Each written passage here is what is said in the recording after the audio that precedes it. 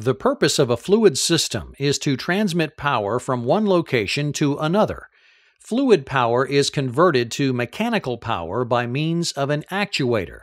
Cylinder actuators deliver a linear push pull motion via a rod and piston within a cylindrical tube.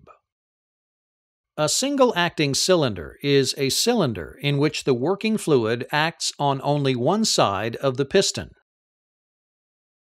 The other side of the cylinder utilizes a mechanical load, springs, compressed air, other cylinders, or the momentum of a flywheel to push the piston back in the other direction.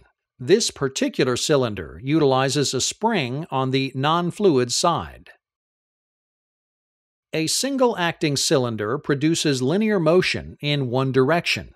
When a control valve directs fluid through the inlet port into the blind end, pressure builds up and generates a force on the piston. When the pressure buildup is large enough, the piston begins to move, extending the rod. This is called the forward stroke. When a control valve directs fluid out of the port, the fluid pressure is removed. The force of the spring pushes against the piston in the other direction, and the rod returns to the cylinder. This is called the retraction stroke. Single acting cylinders are most often found in reciprocating engines, pumps, and hydraulic rams. A double acting cylinder is a cylinder in which fluid acts on both sides of the piston. This type of cylinder can produce linear motion in two directions. A double acting cylinder has two fluid ports, one on the blind end and one on the rod end. A directional control valve sends fluid through the blind end port while venting fluid out the rod end port back to the tank. Pressure builds up and generates a force on the piston, causing the extension stroke. When the directional control valve is shifted, it sends fluid into the rod end port, out of the blind end port, and back to the tank. Pressure builds up and generates a force on the other side of the piston, causing the retraction stroke.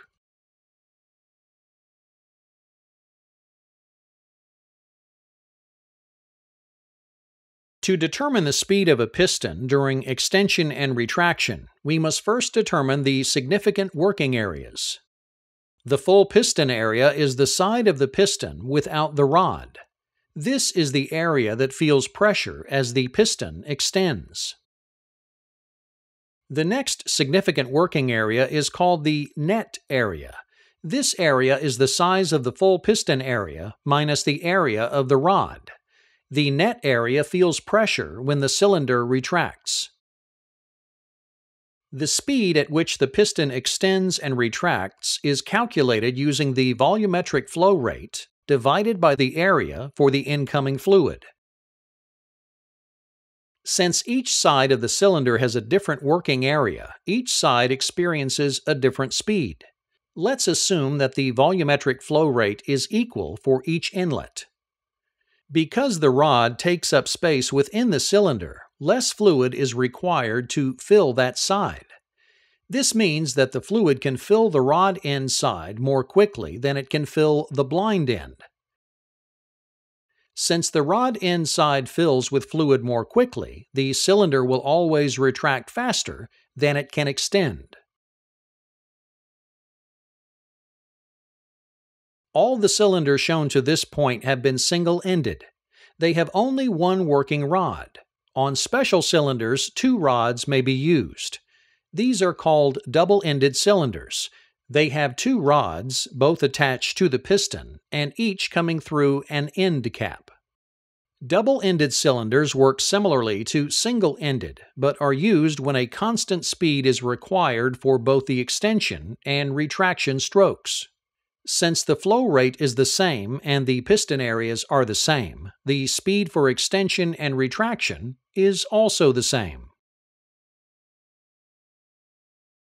Due to their simple design, cylinders are used more often than any other type of actuator for industrial applications. Although their motion is linear, it can be converted to rotary motion by levers, racks, and pinions, or other means, making them one of the most versatile types of actuator.